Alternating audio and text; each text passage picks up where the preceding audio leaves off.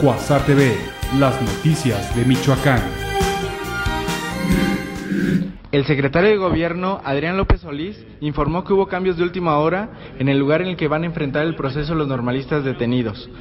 Los hombres que iban a ser trasladados al penal de Guanajuato serán llevados al penal de Hermosillo, Sonora. El funcionario añadió que la Procuraduría General de la República se encargará de llevar el proceso por el delito federal de portación de objetos explosivos. Primero, precisar que este es un asunto de naturaleza judicial. En estos momentos, a, la, al ingreso de los presuntos y las presuntas responsables, la Procuraduría General de la República está haciendo la consignación por el delito de violación a la Ley Federal de Armas de Fuego y Explosivo en la modalidad de fabricación de granadas eh, y transportación de material explosivo. Eh, una vez que queden a disposición del juez, el plazo para que éste resuelva la situación jurídica es de 72 horas eh, y de ahí puede bien derivar un, un auto de libertad bajo las reservas de ley o un auto eh, de formal prisión. Secretario, prevalece todavía. López Solís señaló que las mujeres sí serán llevadas al penal de Morelos. Para Cuasar TV, César Hernández. Padres de familia de los 52 normalistas detenidos cierran la vialidad de la avenida Madero frente a Palacio de Gobierno, exigiendo la liberación de los mismos. Los manifestantes se hacen acompañar de al menos 150 estudiantes de las normales de Michoacán que gritan consignas en vía pública.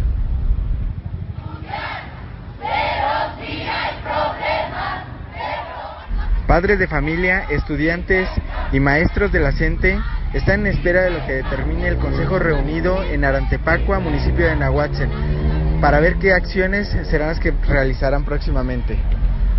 Para Cuasar TV, César Hernández.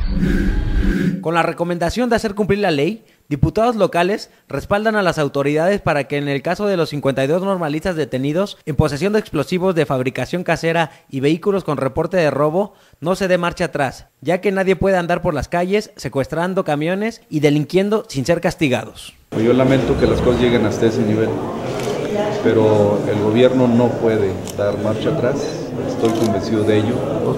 Los estudiantes, que algunos de ellos ni siquiera lo son, no, no pueden andar por la calle secuestrando camiones, robando mercancías, bajando la gente de, que va a un rumbo.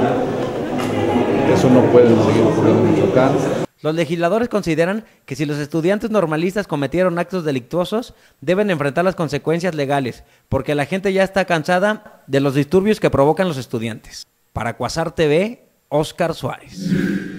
La corrupción es una práctica que violenta los derechos humanos y daña a la sociedad en su conjunto, e implica una gran responsabilidad para los gobiernos el tratar de combatir este mal, manifestó Silvano Aureoles Conejo, gobernador de Michoacán. Nuestra postura debe de ser cero tolerancia, por un lado, a la corrupción, pero por el otro lado también cero tolerancia a la impunidad, porque las dos cosas dañan, laceran a la sociedad en su conjunto, se pierde la confianza en los gobiernos y se pierde la función principal de la autoridad.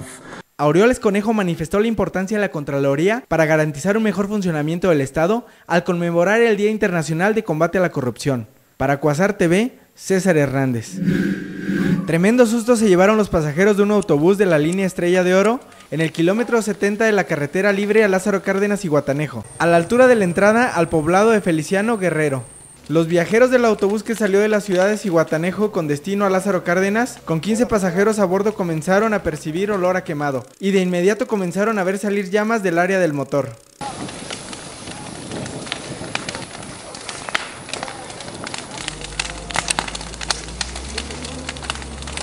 Personal de bomberos de Protección Civil Municipal de la Unión Guerrero arribó al lugar a combatir el incendio del autobús que quedó reducido a fierros y cenizas. La Policía Federal llegó para verificar que todos estuvieran fuera de peligro y tomó nota del percance.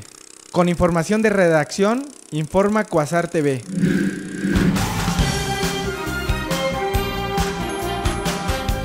Cuasar TV, las noticias de Michoacán.